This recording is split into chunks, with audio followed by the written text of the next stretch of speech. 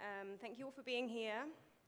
Uh, thank you also to my colleagues, especially to Sif Noor, um, for helping to bring this program together, Lauren Downing for your essential administrative support and guidance, um, Meg Onli for connecting me with Treva, um, and Derek Rigby for seamless technical support and documenting this important event. So I'm very excited to introduce Treva Ellison and their lecture this evening. This event is part of the exhibition I curated upstairs in the project space, the last place they thought of, a presentation of work by four artists that explores the possibility of different and critical engagements with geography through the lens of black female subjectivities and feminisms. As such, I'm absolutely thrilled to have Treva, a scholar of geography and gender studies, contribute to this exhibition project by sharing their thoughts and responses to this exhibition.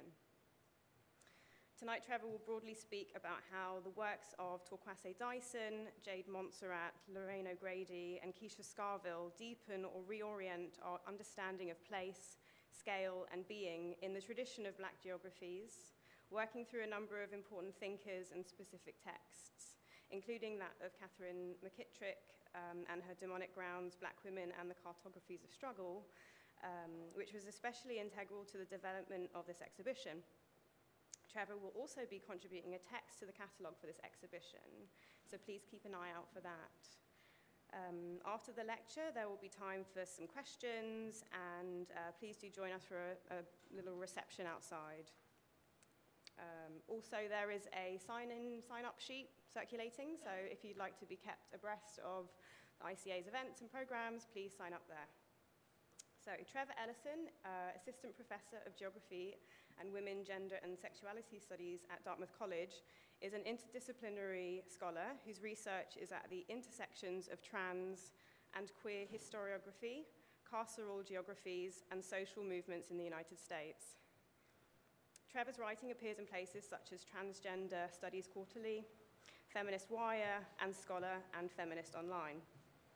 Treva is currently working on their manuscript project towards a politics of perfect disorder, which historicizes the articulation of trans and queer criminality in Los Angeles in relation to the racialization of space.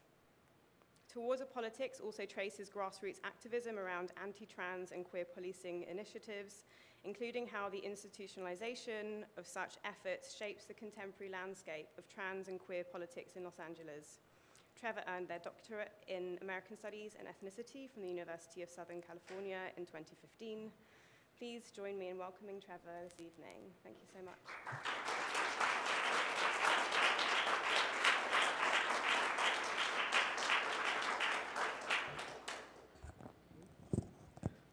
Good evening. Good evening, everyone.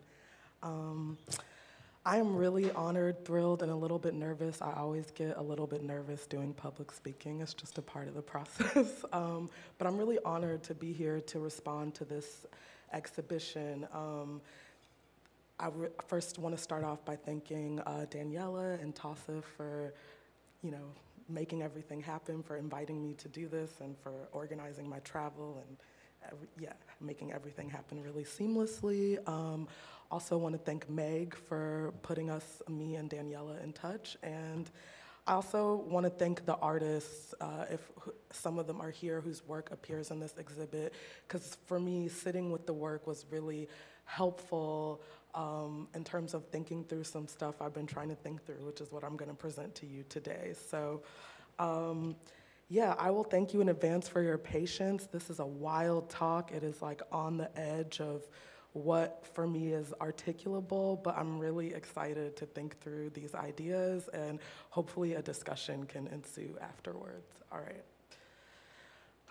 So, the title of this talk is Vanta Power. Um, it is my. Ooh.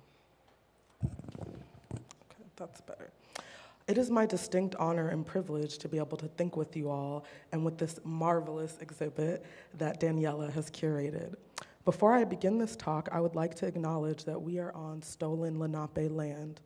The Lenape are a northwestern indigenous people whose historical territory includes present day eastern Pennsylvania, including this city we are in now, New Jersey, Delaware, New York City, western Long Island, and the lower Hudson Valley.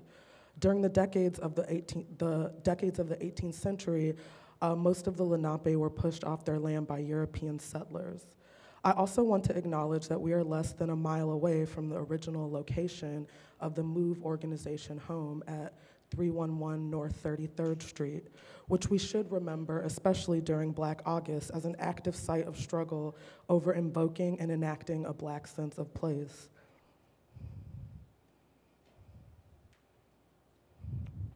The MOVE organization was a radical black eco Africanist group started in the early 1970s by John Africa. MOVE members lived communally. Uh, they were vegans, they protested police brutality, and uh, rejected a lot of common sense beliefs in modern technology, medicine, and science.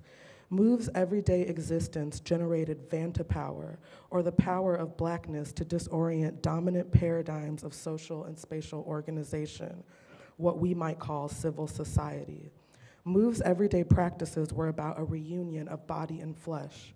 They sought to deconstruct the, deconstruct the quote, black body and Western culture as a regulatory template and create a collective environment in which they could reckon with the social and spatial paradoxes of living in the flesh, the condition of blackness. In this instance, living within the flesh describes the indeterminate relationship between black people and nature, black people in the home, black people in urban development, historically circumscribed by iterative acts of violent displacement.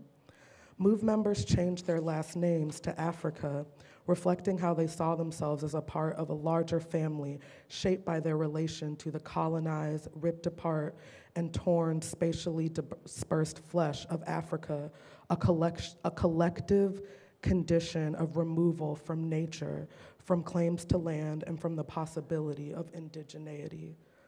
Their daily existence as a collective was organized around enacting and theorizing in the flesh, or articulating and practicing new relationships to land and nature.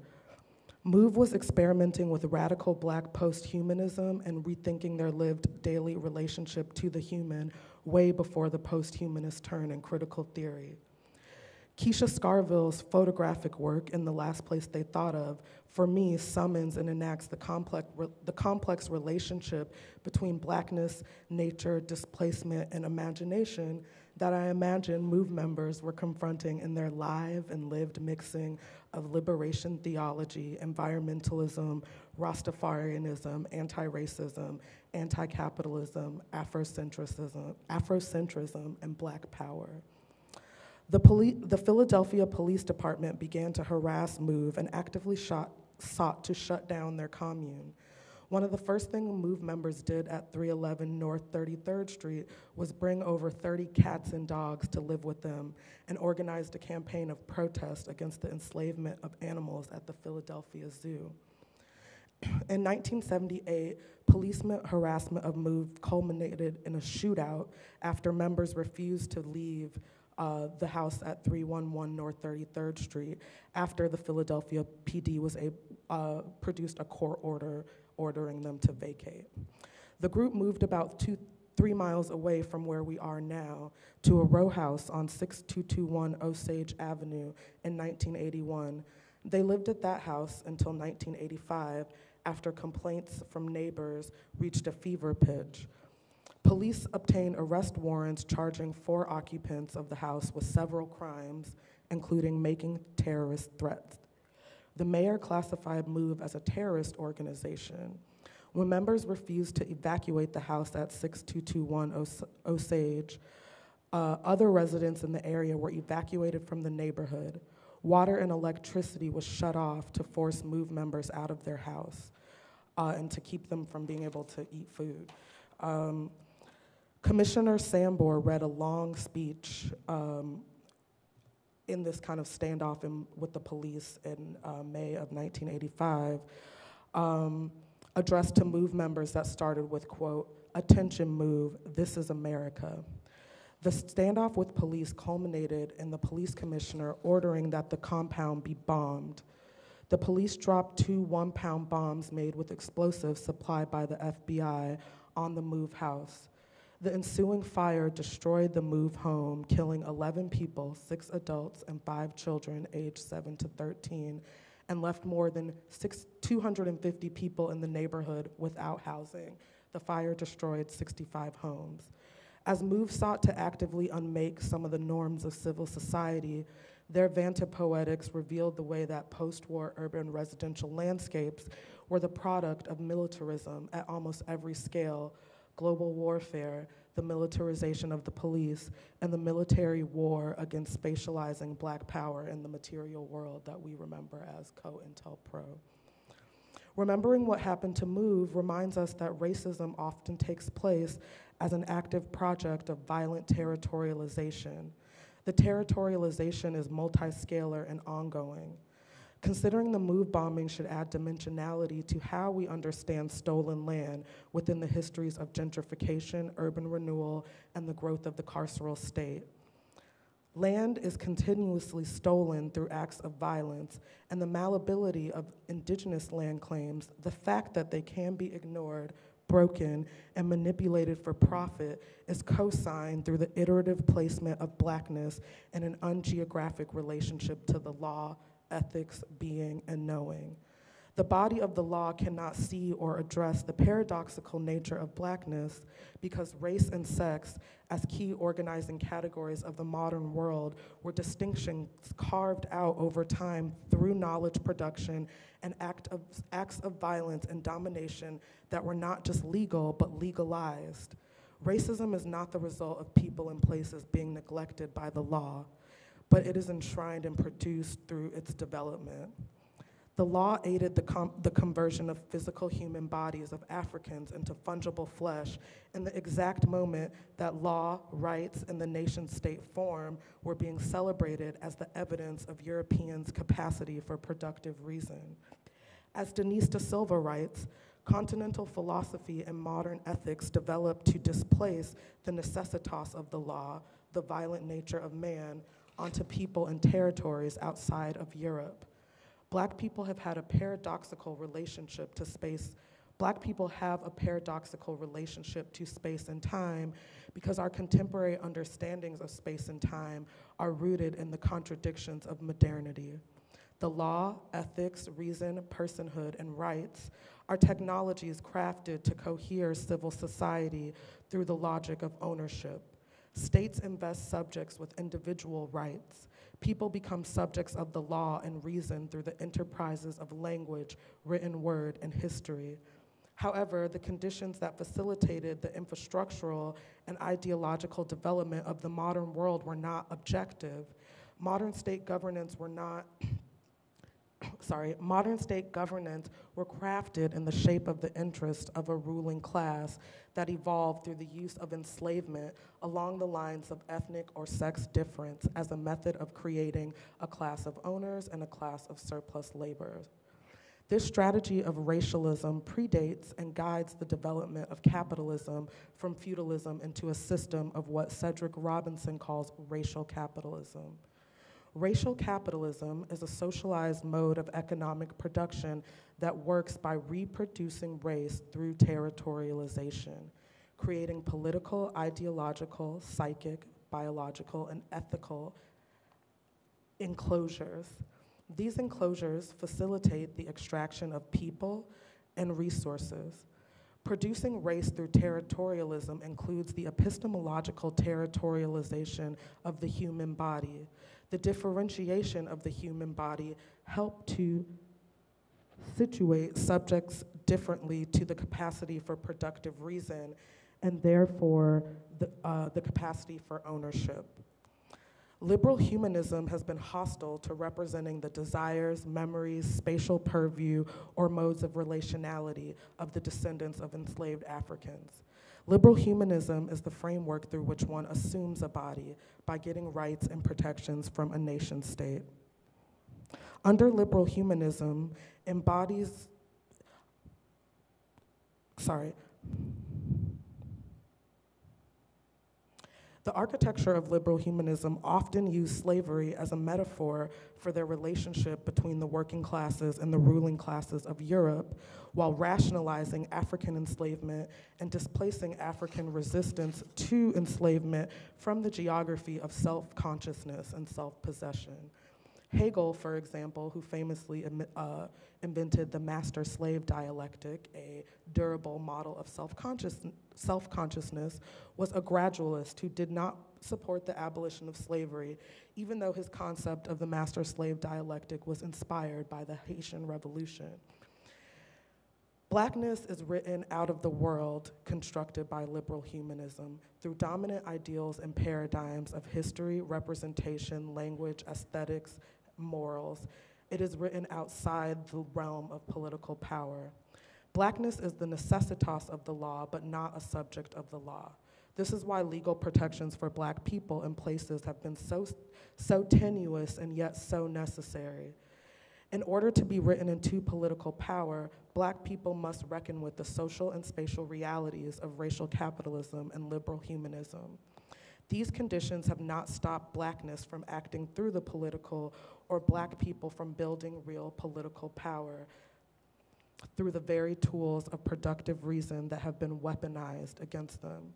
And that is why I am here today to talk about blackness and power, uh, about a specific view of power that I have creatively conjured in response to the last place they thought of that I'm calling Vanta Power. Vanta power is the disruptive and transformative power of blackness. It is first and foremost an experimental idea on the run that is trying to think about power in relationship to blackness, about the power that comes from blackness and the pa- paradoxes of that power. This feels like a highly appropriate exercise for Black August. Um, I'm interested in how Black people have approached questions of being and existence beyond binaries of life and death, human, non human, that permeate theory coming from critical studies, queer, and feminist theory.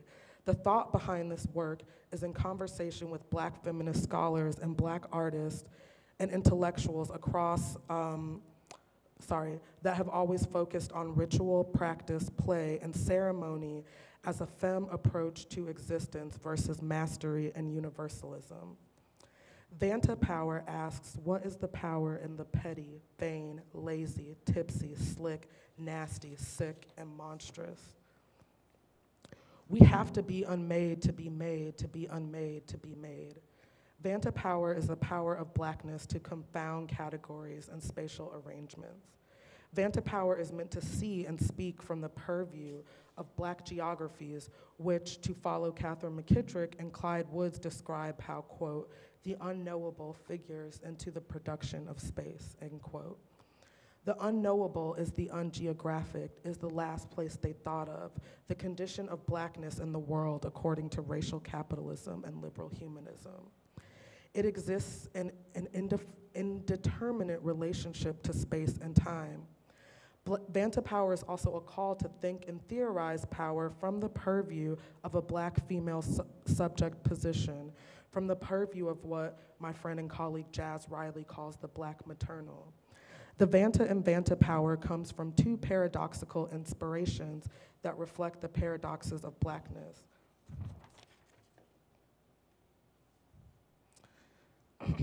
The Vanta and Vanta power is inspired first from the material Vanta Black.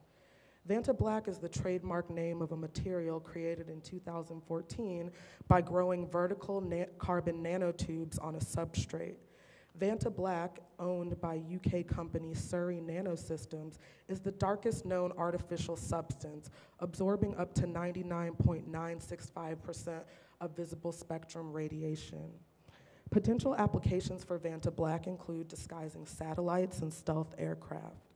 In February of 2016, Vanta Black became the subject of controversy in the art world when sculptor Anish Kapoor was given exclusive rights to Vanta Black as an art material by Surrey Nanosystems. Painter Christian Furr was particularly furious because he wanted to use it to create a series of paintings titled Animals. Furr balked at the idea that one artist could have a monopoly on a material, but Surrey affirmed Kapoor's exclusive rights in the field of art, remarking that the engineers at Surrey were great fans of his disorienting sculptures. Uh, so this is an image of Vanta Black, and you see it's like uh, Surrey, basically, Surrey Nanosystems converted Vanta Black into a paint so that Anish Kapoor could use it in his sculptures. And so the, uh, the figure on the left, oh, sorry, I'm bad at left and right. The figure on the right is like the same bust of that face covered in Vantablack, and Vantablack like distorts the contours of the face because of the way that it absorbs light. Um, what is striking to me about the argument between Furr and Kapoor is that they both want to lay claim to Vantablack because of the power of blackness to disorient, transform, and wow. Kapoor remarked to Artforum, quote, the nanostructure of Vantablack is so small that it virtually has no materiality. Uh, that's, that's like Vantablack, so those vertical tubes, uh, like that's, that's it, the vertical nanotubes being grown on the substrate, sorry. Quote, the nanostructure of Vantablack is so small that it virtually has no materiality. It's thinner than a coat of paint and rests on the liminal edge between an imagined thing and an actual one. It's a physical thing that you cannot see, giving it a transcendent or even transcendental dimension. Furr commented to Daily Mail, quote, all the best artists have had a thing for pure black. Turner, Monet, Goya. This black is like dynamite in the art world. We should be able to use it. It isn't right that it belongs to one man. What was stunning to me when I was reading this back and forth was that both was uh, both Furr's and Kapoor's unabashed desires to both inhabit and control blackness as a material. Kapoor uses black in his work to create scenes of cognitive and spatial disorientation, and Vanta Black, the blackest black ever, presents him with the opportunity to convert his aesthetic practice into an exclusive property right. Furr's seemingly liberal democratic retort succinctly recasts the ghastliness of liberal humanism. Furr is insisting that not just one man should have the exclusive rights to Vantablack, but everyone should have the chance to purchase and use this dynamic material.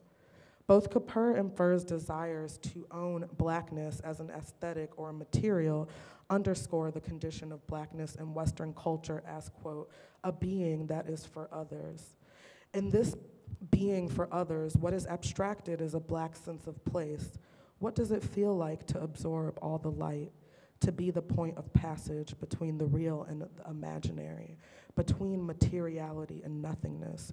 What does it mean to be constructed as a bridge for transcendence? Vantapower, in this sense, is meant to express the power that comes from blackness as it is materialized and sourced, often through race, through the commodity form, and through spatial acts of enclosure and territorialization. Um, we can see quite literally the visual representation of the, of the Vanta Powerful in the work of Torkwase Dyson. Uh, Dyson's paintings in this exhibit provide a, uh, summon the material geographies of water crises and how they are inflected by the racialization of space.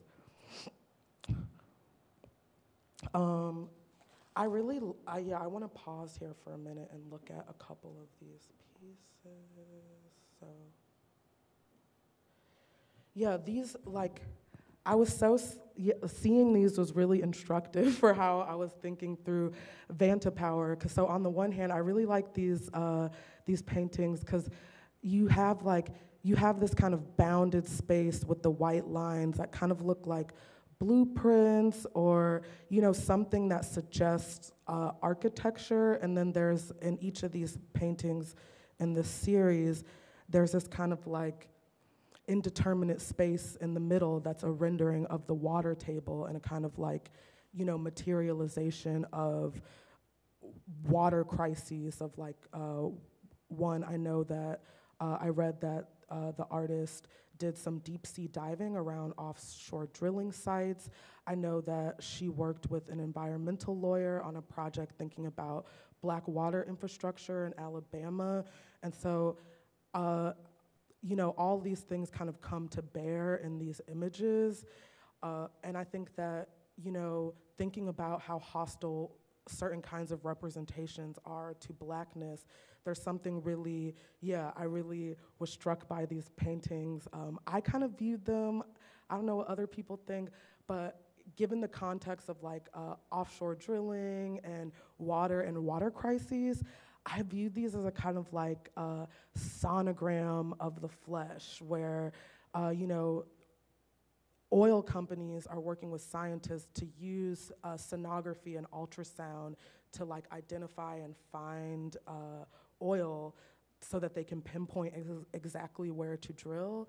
And I saw these paintings as kind of like uh, reappropriating the kind of like view frame and the visuality of the sonogram to like bring us to, yeah, to like render the water table, which is something that is indexing like multiple geographical locations and multiple like processes of power.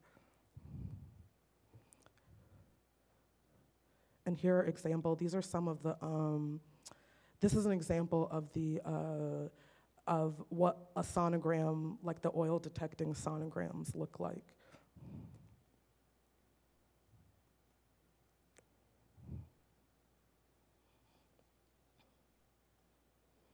And then I also saw in this work and the work of Jade Montserrat, Montserrat this really um, intentional focus on, on source. So in, uh, in Dyson's work, it's thinking about water as this kind of medium of transmission and the alluviality of blackness. And then in, J in, uh, Montserrat's uh, installation, which here I can zoom out.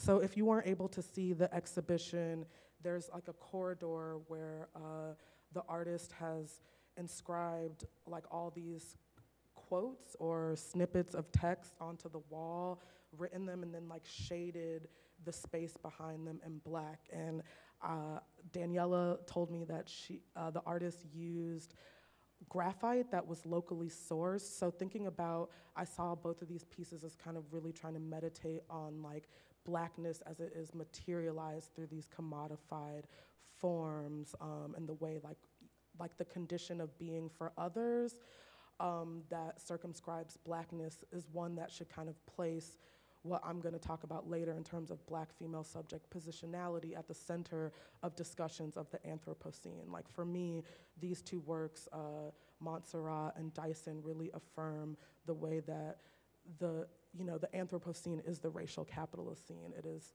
the, the same kind of uh, relations of power that produce what we call, you know, the Anthropocene, which is a particular measure of geological time, are like, you know, the conditions of blackness. So what does it mean to put, um, to like center, you know, to, to create a kind of experience that allows us to have that kind of, that conversation. Um,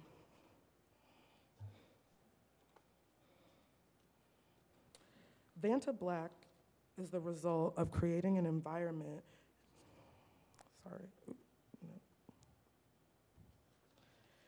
Vantablack is the result of creating an environment in which carbon can be organized in a particular spatial arrangement, the nanotube array.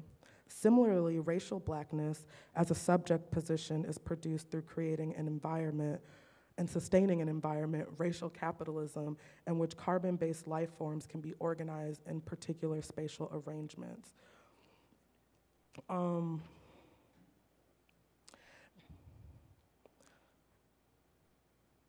into the, sorry, into particular spatial arrangements, including the space of the unthought, or what geographer catherine McKittrick calls ungeographic, a zone that hovers out of the, hovers just beyond the grasp of language. Being ungeographic does mean that, doesn't mean that you cannot be located, but it means that the tools and structures of space and placemaking have been weaponized to attempt to foreclose your ability to materialize your sense of place in the world. This underscores the paradox of approaching blackness and the power of blackness through the language mediated order of culture, the sign systems, aesthetic values, philosophies, and theories of form, content, and relation meant to administrate human life and embodiment through formal and deterministic judgments, classifications, and taxonomies. All right. I want to return to the second proposition, now turn to the second proposition of Vanta power. Vanta power is the power that comes from reuniting, reuniting body and flesh. Power is energy that is used to organize material, psychic, and representational landscapes. So, Vanta power is the capacity to organize material, psychic, and representational landscapes that emanates from a black female subject position. The second inspiration for Vanta power comes from the prefix Vanta, which denotes vanity, laziness, or lack. Black people often show up in dominant culture through these terms lack, fragmentation, displacement, deficiency, and pathology. Vanta underscores the power generated from the iterative scripting of a black female subject position, one that conditions not just black subject formation, but one that sets the terms for the reproduction of the relations of production, to quote Hortense Spillers, or in short, the reproduction of racial capitalism and liberal humanism. One of the primary strategies for presenting black people as lazy and lack is to position them in an indeterminate relationship to normative ideals of the human body and human sexuality. This rendering for me is exemplified in the figure of the welfare queen, the castrating mother figure. For example, in the late 1940s, decades before Ray Reagan's famous rendering of the welfare queen, Lucy Hicks Anderson, a black gender nonconforming femme socialite, brothel owner, and domestic worker living in Oxnard, California, was prosecuted and convicted on federal, federal fraud charges for accepting an allotment check as the legally married wife of the US Army because she was not a biological woman. Lucy Hicks, Anderson Lucy Hicks Anderson's arrest exemplifies the kind of queer uses of family, marriage, kinship, and state resources that constitute the source of Vanta power. Vanta power is the capacity generated for US state governance that comes from iteratively remaking the figure of the welfare queen. The iterative crafting of this figure through policing and criminalization should place black female subject positionality at the center of all of our conversations on neoliberal development and restructuring black life and the nature of matter. The Vanta the vain in Vanta also indexes how black people like Lucy Hicks Anderson have made queer use of dominant social and spatial structures, and how these queer uses are often unacknowledged as black power. With this inspiration, I wanted to think through the power of having a vain, lazy, or lacking orientation to the enterprises of being and no- to enterprises of being and knowing that are hostile to you.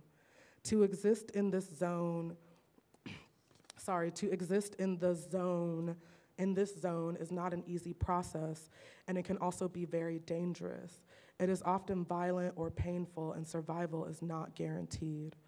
In articulating Vanta power, I'm interested in creating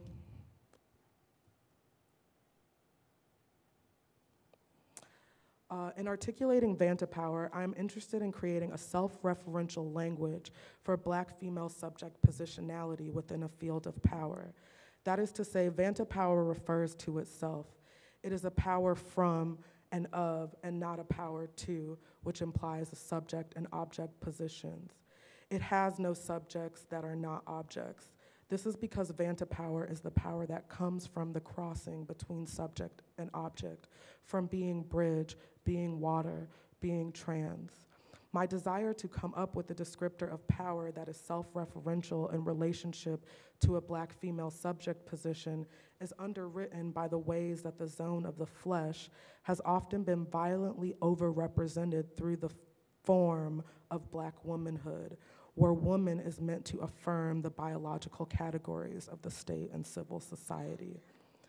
Charting the trajectories of Vanta power, the power that comes from ritual unions of body and flesh, could constitute an approach to black feminism that is divested from reproducing the racist logics of biological sex. To intentionally reunite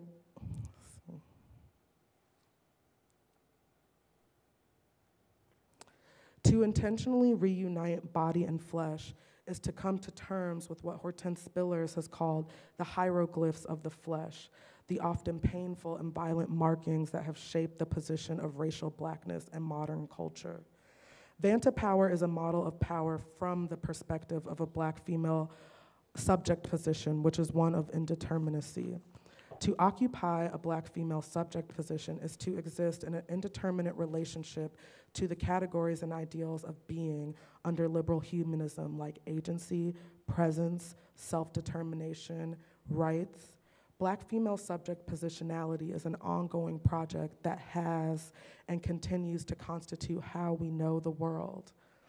Living in the flesh means grappling with the ways that black people have been rendered as ungeographic. Thinking both with McKittrick and Spillers, being rendered ungeographic means that the normative tools of language, representation, and placemaking lack efficacy in terms of expressing black people's sense of place. Um, ungeographic describes the spatial dimensions of living in the flesh or in proximity to the embodied cultural memory of anti black racism that is in active production. This is the last place they thought of, not because they didn't think to look there, but because it is so layered, thick, and palimpsestic that the tools of thought fail to address it with efficacy. Vanta power is a call to see and recognize the disorienting power of the black femme's flight who, when as Kara Keeling writes, she appears, should make us stop and think differently about the organization of the world as we know it.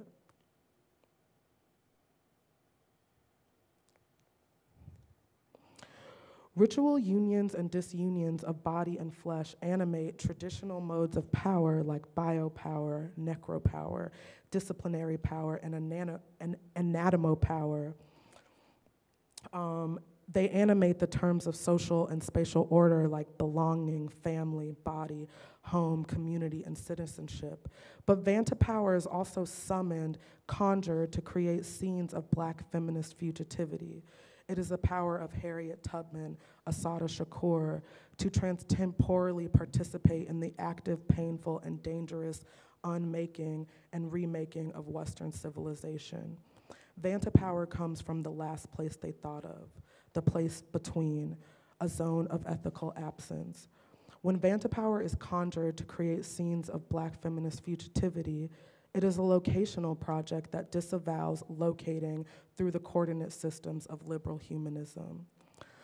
Learning to see Vanta Power reveals black feminist geographies if we understand black feminism as the improvisational, dangerous, and urgent work of living in the flesh living with the flesh in the indeterminate zone of blackness and refusing to violently displace people into that zone in exchange for inhabiting a body that is representable with efficacy through the codes, taxonomies, and value systems of Western civilization. Black feminism is saying yes to the female within, acknowledging the power of black female subject positionality as the power of blackness. All of the works, uh, to me, in this exhibit do this in the way that they evince the creation of practices and existence that privilege hacking, experimentation, vulnerability, risk, and sociality over identification, representation, and ontology. They chart the trajectories of Vanta power by exploring how it shows up in the material world, the water tables of the Gulf South, the forests of the northeastern US in dialogue with Guyana, and the intellectual work of black writers and thinkers. Um,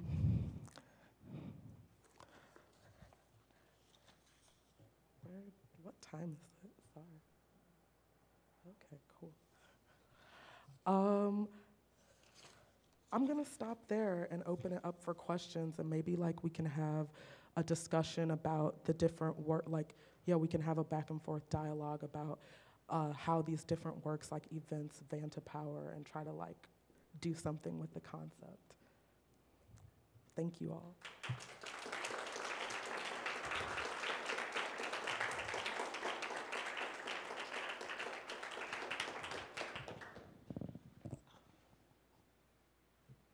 Does anyone have any questions, comments?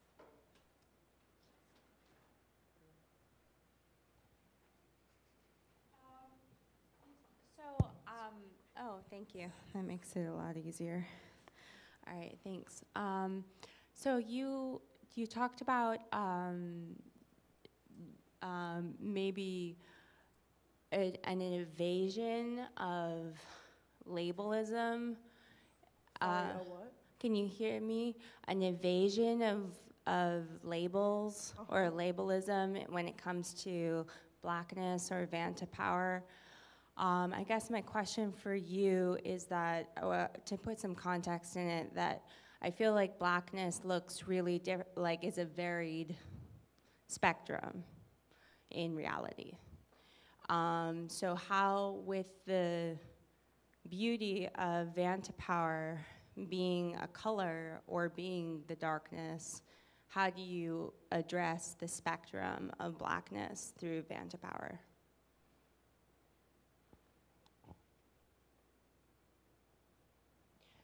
Also, like with eva- with evasion, because there's a lot of evasion from it, and I'm just saying, like, if we could if we could change that into instead of evade the need to evade an identity, to embrace an identity that is also open ended or addressing the spectrum. Yeah, so I guess that's a great question. I think one of the ways I see Vanta power or the Vanta poetical, like evading labels. Oh, sorry, I'm sorry. Like in this work, in the slide that I'm stopped at, like this. So this, uh, there's this 18-minute video that Lorraine or, uh, O'Grady did called Western Hemisphere, and it's called Western Hemisphere.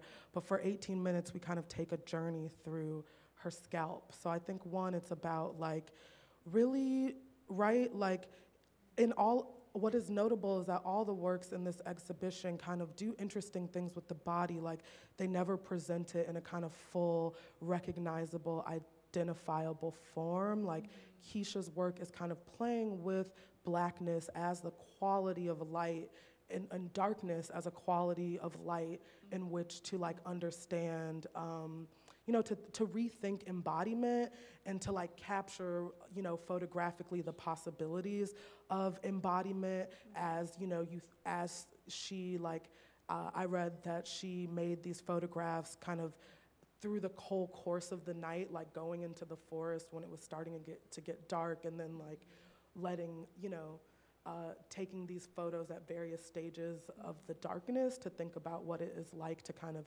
co-become with darkness. So I think like that's one example of how people are using Vanta power to resist labels. Like I think about Torkwase's work, like she could have, you know, tried to like recreate, you know, the scene of extraction and be like, look, here, like here's where something bad is.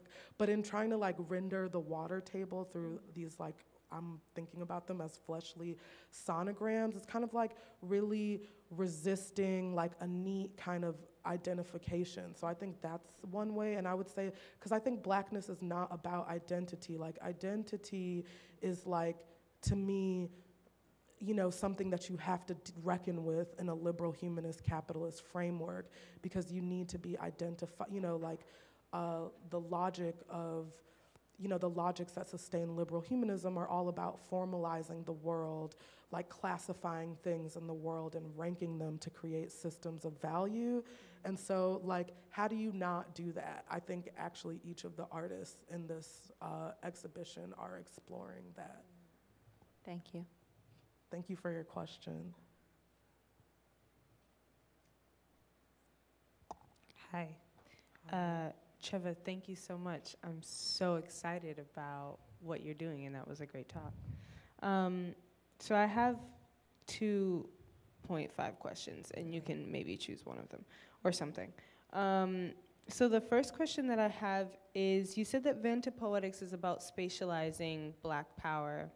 Um, and then when you were showing us the Va- Vanta Black, Um, some of it was about disorientation, which I think is what you were getting at.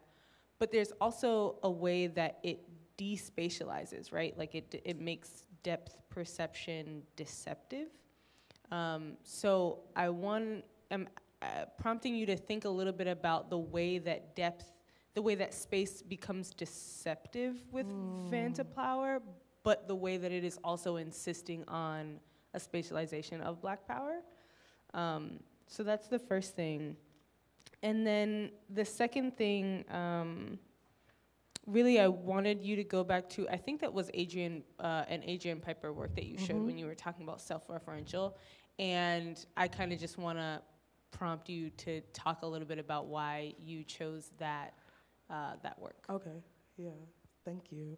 Uh, so I like this, what you said about here for the first question.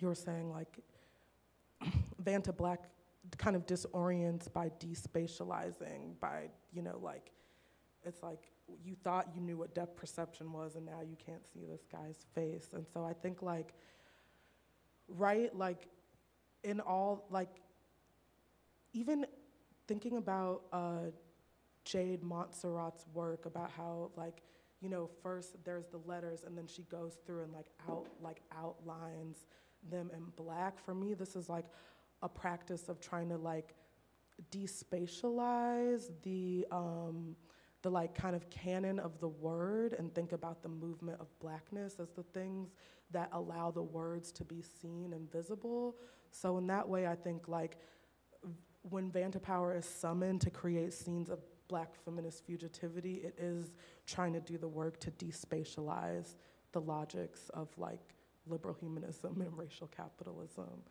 Uh, is, does that sort of begin to answer your question?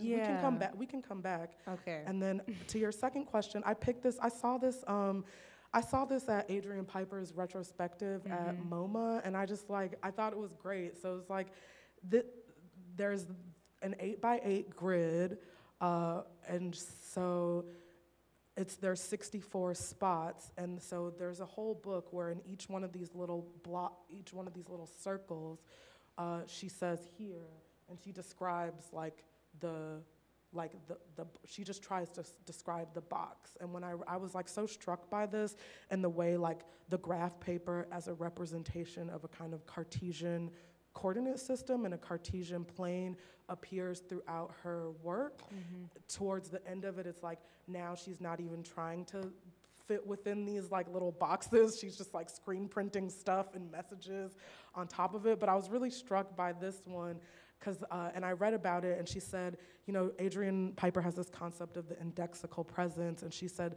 she was trying to come up with a self-referential a language in this piece in this particular piece that only referred to itself. And that was really inspirational for me because right hortense spiller says that like when she talks about black female subject positionality, she says that the individual pronoun has a collective function and that part of the way that the tools of productive reason are weaponized against black people is that it becomes hard, right? Uh, thinking through her and Saidiya Hartman's work, like if we look in the archive of slavery, it's like impossible to biographize uh, for you know like black women to have a biography uh, or it's it's not impossible, but it's really difficult to glean biography. And so I was in, I was like enchanted by this idea of Adrian Piper to like create when we talk about blackness in relationship to power, it's always like through terms of disempowerment, even the term anti-blackness. But I wanted to come up with Vanta power as a self-referential language that referred to the power of blackness. Because right, that's the whole like that's the whole crux of black like the paradoxical nature of blackness. It's like both hyper surveilled but then exist without any like actual locations or coordinates especially in this cartesian model of locating things because it need like it needs to be that kind of amorphous so that it can do the work of providing the kind of contour or the backdrop for being for uh, yeah, like for assuming a body in the way that assuming a body means being recog- like being recognized by certain kind of hierarchies of power. So that's why that's why I went to like this is why I showed this because this work was really inspirational thinking through with the other works in this exhibition, trying to like come up with, um, yeah, like a term that could refer to the power that comes from black female subject positionality instead of always having like it's never at the center of power. Like biopower is the power to administrate life. Where do we locate the black female subject positionality within like we can but it, do, it doesn't often happen. Or like uh, necropower even that's supposed to be like the black rebuttal to biopower is just like the power to kill and I was like, the power that emanates from a black female subject position is more capacious and complex to me than th- what those two descriptions of power allow for, if that makes sense.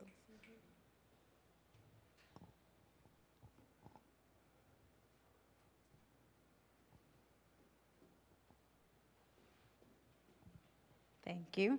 Hi, Treva. Hi. So I wanted you to talk a little bit more about um, just how you came across this this color, the Vanta black, and like I was really interested when you were talking about the conditions in which it was produced. It was thought to be this tool for surveillance that you could cover up drones with it so that you could better surveil. Or um, then there's also like this these debates around you know how profitable can this color be? And like who can own it? And so I was just really interested in in um, kind of your process in choosing this color and like this product and if you um, if it was your intention to kind of just like flip the, like choose something that you could flip around to then say like okay by the very nature of like this being a product of racial capitalism, we can kind of pick up on this and use it for something else. That's like. I think that was Yeah. my process. I think you just described my process. But I could talk a yeah, like I don't, I'm trying to remember of when I came. I think I just, you know, I was scrolling on the internet and saw this posted on someone's Facebook and it was like, Vanta Black, the blackest black ever. And I think this is also in the temporality of like gay is the new black. And I was like, wow, like blackness is so necessary as the, like a referential for other things to be kind of brought into being. And so I, it, start, it started there. And then I was like, okay, what is like what is this prefix? Vanta, vertically aligned carbon nanotubes. So then I was yeah thinking about right like Vanta black is not a color, it's a material. And that, I thought that was really interesting to me. And then when I read what Anish Kapoor like had to say about Vanta black and like what um, yeah, like when I read his descriptions of like why it would be so useful to him, that also like kind of was like ah really striking. I don't, does that does that begin to answer your question? Okay.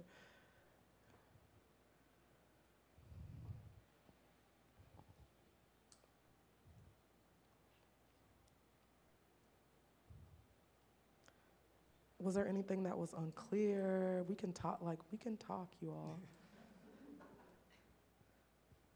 Hi again. How's it going? Thanks. Um, I just wanted to say that I really appreciate your uh, description of Vanta Black power as being something that doesn't necessarily need to be described or explained, or that the material itself is so otherworldly that it it's not. It's less about describing or explaining why it has all these properties, which I think transfers to blackness in a lot of the ways that you've described as having a sort of um, ambiguousness to it in that it doesn't have to be explained for anybody and that there is a depth perception problem there and that's supposed to be there and it's called mystery and it's called more than you might like you have to find out for yourself which i really appreciate so Thank you. That was really like inspired by reading through Katherine McKittrick's work. And so she has this book called Demonic Grounds, and the title of this exhibit, The Last Place They Thought of, is the title of one of the chapters of the book. And in that chapter, she starts with telling the story of uh, Harriet Jacobs, who was like, um, you know, does, is everyone familiar with the story? Who like escaped by like hiding in a closet for years and so she, the garret, sorry, not a closet, a garret, and she and she develops this concept of garreting to think about like to use garreting to think about the kind of paradoxes of um, like black women's relationship to space and to like asserting you know their desires and their thoughts within space. And so that was i think that was really informative in terms of trying to think about along the terms that you just said. Other questions comments? I feel like maybe my question is like, you know, uh-huh. is the is a is is answered by the previous question, but maybe I'll ask it anyway, because my mind was a lot less poetic than yours. So, um, so I'm thinking. So I, I I really enjoyed it. I like the um, the idea of the of uh, Vanta power as like um, emanating from Black female subjectivity. Um, um, and then the the question that I, I was wondering about is um, were you thinking about both the um, the power that is uh, seen from uh, other places? In other words, um, there is a, a way that uh, black female subjectivity is something that um, could be feared or you know tried to be you know boxed in various different ways. So is it both that and um, one that's a power that's more fugitive? Or are you thinking more about the fugitive power? I think I'm trying to think about them both with these prop with these propositions like that one it's the and thinking about the move example like of course I think I maybe I like fumbled through that part but I talked about how like Vanta power can like can and often is I think about it as an energy that emanates that can be siphoned off into other kind of like mechanisms of power like biopower or necropower which is about like the state sovereign power to to kill to maim that we see you know every day in the news with policing and criminalization and you know like i mean i feel like that's everything this country is about. Um, so yeah i am trying to think about those two like those two capacities, but not try to like, I don't know, I'm not, not trying to bracket them through the terms of like resistance or refusal, because I think sometimes when you do that, you don't, there's things that you don't see, is to be succinct.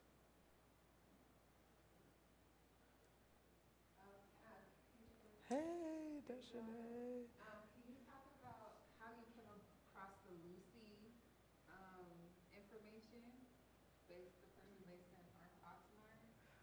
Sure. Yeah, I well, this is like that's kind of me bringing in the stuff I'm thinking about in my book project, which is more concerned with, uh, and, like, and I think that comes in. Sorry, let me back up. So yeah, that story, Lucy Hicks about Lucy Hicks Anderson, I first encountered on a blog called uh, TransGriot. That's maintained by Monica Roberts, where she tries like it's like a trans history recovery project. So I read about Lucy, and I did some like newspaper research to just learn a little bit more about her. And then also uh, Riley Snorton writes about her her story as well in his new book Black on Both Sides. So that was also really, you know, like so I'm also thinking with Riley. Um, and I was just striking to me, right, that to me, thinking about Lucy Hicks Anderson and the way that she was disciplined was like, this is where the queen and welfare queen literally comes from. Like, and so we can't like we like if we read like black gender nonconforming femmes into the like canon of black women's history, I think it really like deepens, you know, what what it really means. Like, what are the kind of core mechanisms of instituting a black female subject positionality? And so that's yeah, that's like what. It's, sorry, it's hard to see your face because of the way the lights are, but that's that's what. Does that begin to answer your question? Yeah. Okay.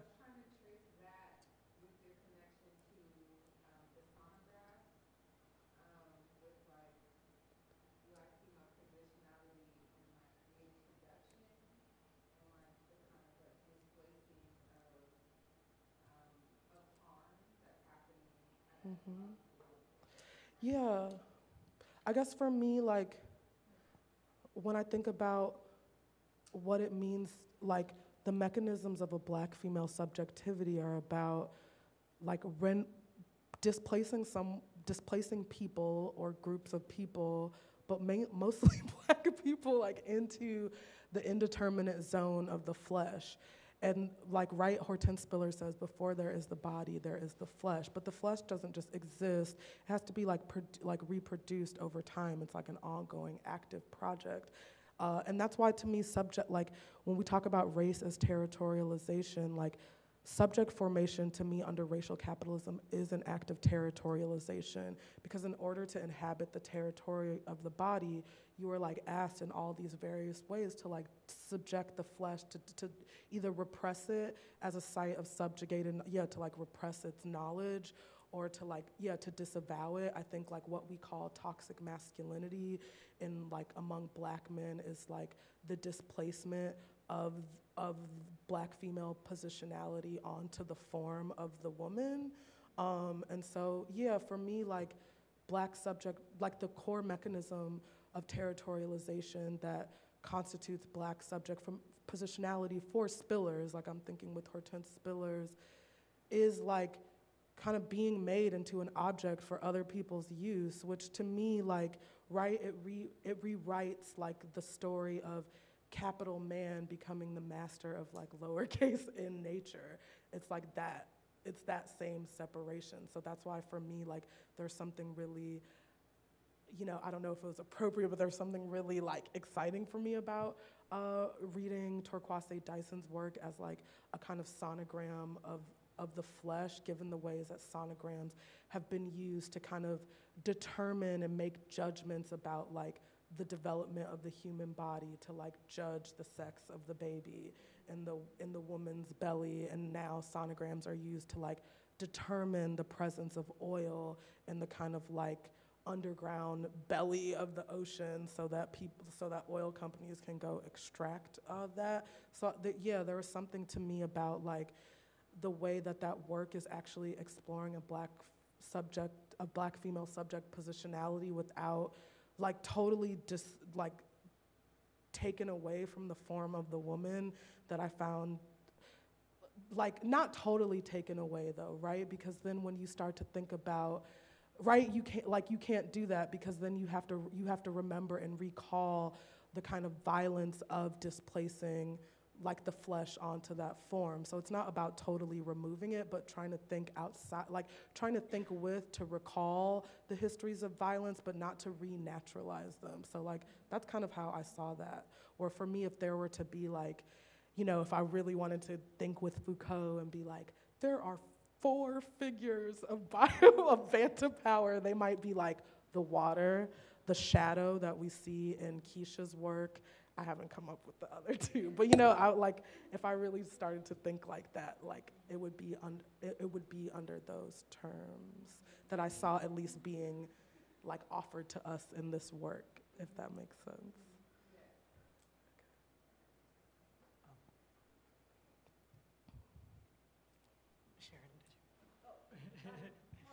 I uh, thank you so much for the talk, and um, I think there's so many ways that you um, are talking about um, space and time, geography and time, like in your discussion also. So um, I guess I was wondering if you had more thoughts. When I was thinking through the ways, like the last place they thought of, and also with the Lorraine O'Grady landscape as um, certainly in sort of aesthetic histories uh, as being a way to kind of fix a particular moment in time, to fix a period, or to, to kind of romanticism and to, to some, somehow refuse a certain um, trajectory of movement or change.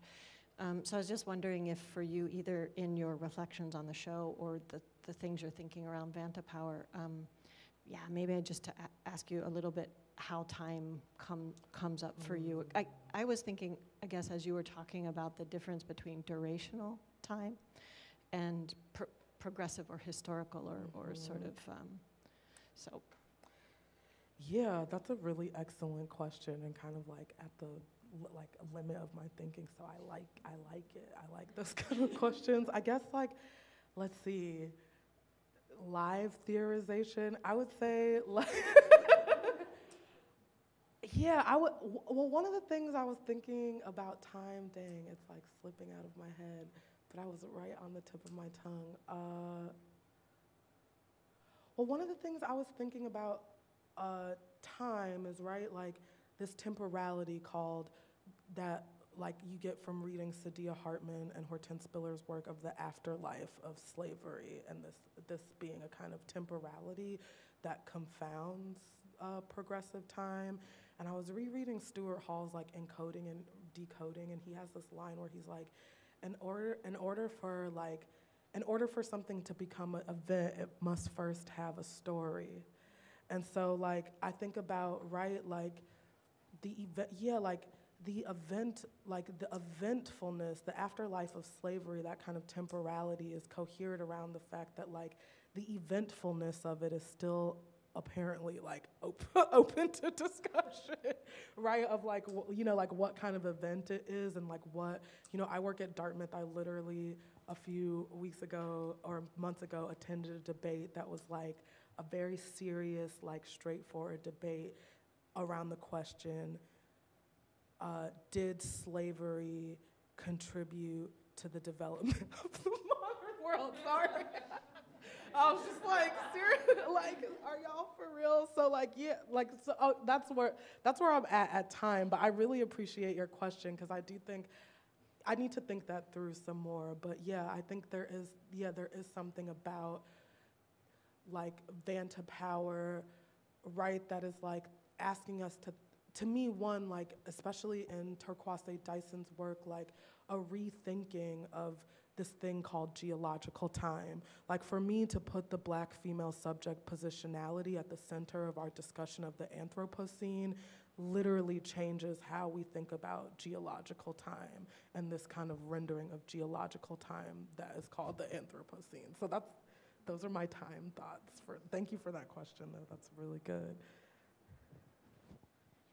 Great, great, great talk. Um, just thinking about, I guess this is a question and a statement in relationship to the last place they thought of, McKittrick's work, and the garret, and this idea of like nature and space. So one of the things about Harriet Jacobs being in that garret for eight years is that she took an object and started burrowing a hole in that space. And in that hole, what she did was emit, started to emit light in the hole and sound, right? So, um, so that's one thing. So thinking about time as um, short and long, thinking about in time in relationship to violence, slow violence, fast violence. Um, I think it, it, it it's it's an interesting kind of way to make possible um, an argument for both frontality, duration, what does it mean to make something in the round, and what does it mean to sort of an experience an art object, right? So, how does Lo- Lorraine O'Grady's piece, in relationship to the photographs, in relation to the text, you know, use the body as a way to think about time, witnessing, not witnessing, but viewing and, and um, kinds of conditions of movement. So just to think about the title of the show, the way in which the garret functioned as a space over time um, to have access to our children, to have access to sound, and access to um, seasons changing, and the way the sort of hair like moves into the space. So all these things in relationship to time is something that also connotes geographic, you know, violence in, in response to that. So I just just to think about. I'm asking you. I was that like, a is that question? that was yeah, that was a kind of a question. What do you think about that? I think my short answer is yeah, yes. um, sorry to say, you said using a body as a way. I mean, I think looking through the exhibit.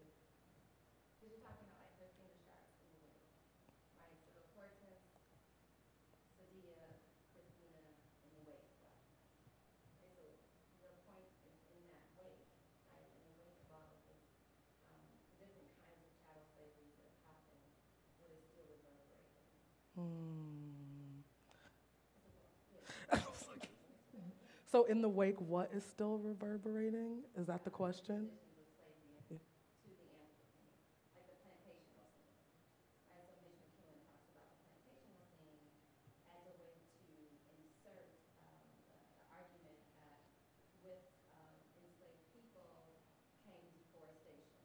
Mm.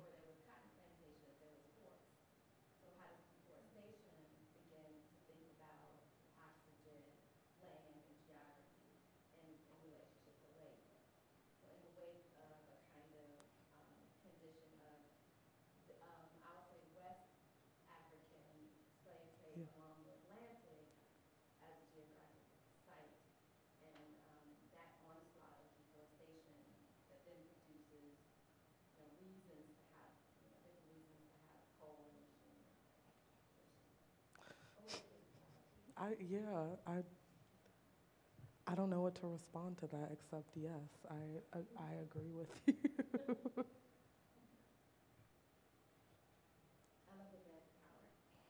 Thank you. Do other people have any comments, thoughts? That was re- like I thank you for that was a really helpful way to think about this question about time um, in the space of the garret. Yeah, thinking about slow violence versus fast violence. Yeah. Yeah, uh, other people that besides me should talk at this point. Did I see someone? Did you have your hand in the back? Oh, sorry. Okay.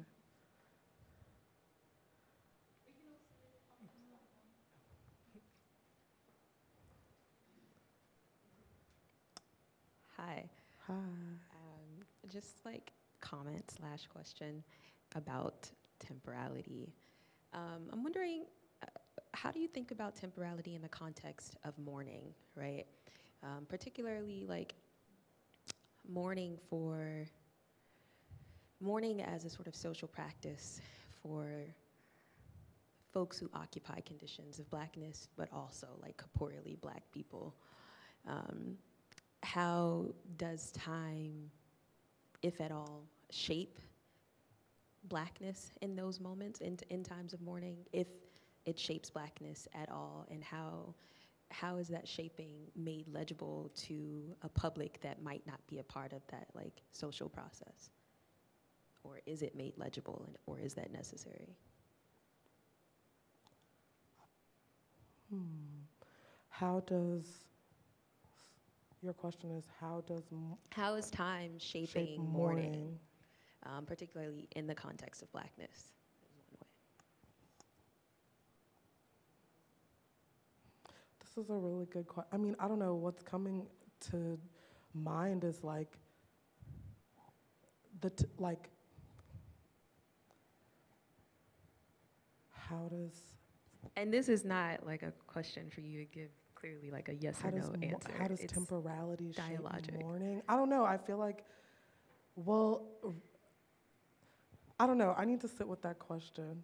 I'll s- I need to sit with that. But it's a really good question. I think what's coming to mind is like what is my question back is like what is what is the not time of mourning? I think what feels like the not time is the moments of disregard. Like, I don't know, say someone is recovering or, or this process of mourning was brought on by the death or the murder of a black person. And so in those time, in those moments, um, it seems in the contemporary moment, I won't say contemporary, but in the 21st century, in this century, what seems to happen is, let's say a mother is grieving the loss of her child being killed at the hands of the state. That grief is taken and turned into a political tool. Um, but the subjectivity of that mother and that family and those people who are mourning looks like something else. And I'm wondering th- what I'm what I'm getting at is how those two scenarios are made temporally different, because to politicize something that is on the one hand always already politicized, but is also I think occupying another another social life for that mother who's mourning. Um, is legible in certain ways, but also illegible in other ways. Um, and and I'm really interested in like what temporality looks like in those two different scenarios: the political use of grief, um, and then the sort of private, non-legible, or the social life, the active social life of that grief for the people who are familiar with that black person who was killed.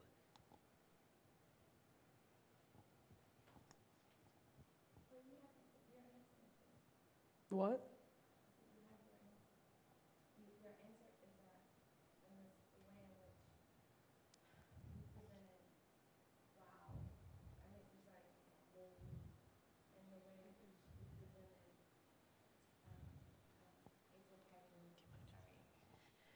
So, uh, right, there is, there's, there's this sort of wave of non-mourning, right? So you can look at black music, you can look at um, Emmett Till, you can look at these different conditions in which your question kind of evolves based on media, medium, action, but, and, and also kind of black sociality. So if you look at the club, instead of a party as a space of mourning, what does that, what does that mean? And you know, and I think that the the reason why like this club is important, the the, the sort of brothel is important, the the collective is important. All of these spaces are conditioned to deal with mourning, both immediate and long term, right? So you've positioned us with a Venn diagram to deal with both mourning as something that immediate, let's say like a Mahalia Jackson wail, and then like a Emmett Till photograph, right? And then even more recently, um, the con- and we know it's going to continue, right? We this idea of this ongoingness in proximity, because that's what I guess you're asking. One part of it, right? but you've positioned us in this diagram to say, okay, well, you know, what does it mean to have something immediate, and what does it mean to suffer under this kind of duration? In our proximity to the incident, the mother, mm. and then the wake of that, right? And it's the job of the theorist, the artist, everyone to sort of respond based on proximity, pulling it close, pushing it further, abstracting it, illustrating it, but you have it there, there it is. You've done it for us. Thank you. Yes. Other thoughts? I love, yeah, I love the discussion.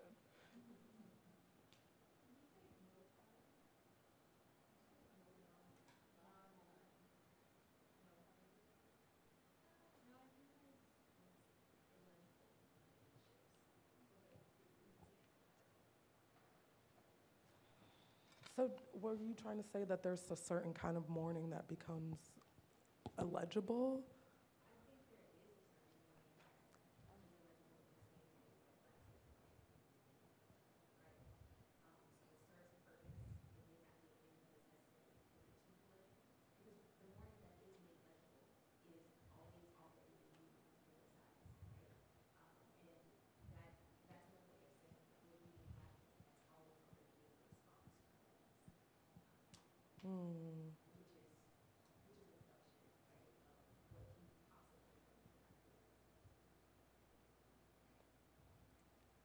Yeah, I like I guess it, thinking about the terms of this exhibit and the way that like the more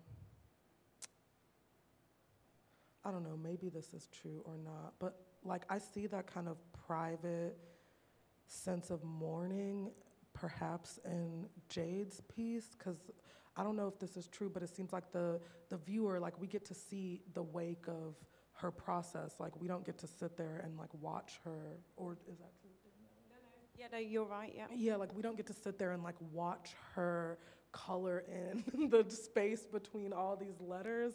And I kind of, I don't know, I could, could, I like see that as a kind of like ritual that's trying to reunite body and flesh. Because most of the passages in that corridor are kind of like about the way that, you know, black people's like lack of an efficacious relationship to embodiment.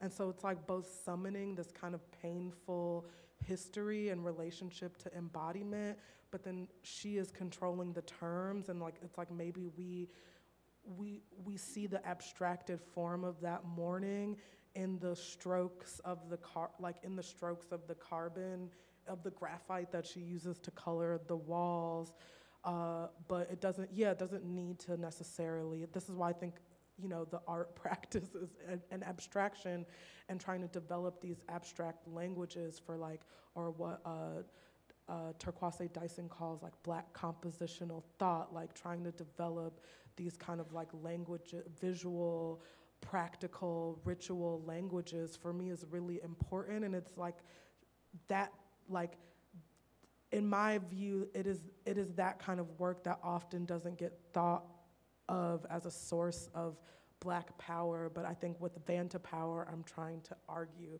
that it, in fact, it, it, it is like the power of blackness. It is like the way that blackness can be summoned to create, uh, thinking with Alexis Pauline Gumbs' scenes of black feminist fugitivity.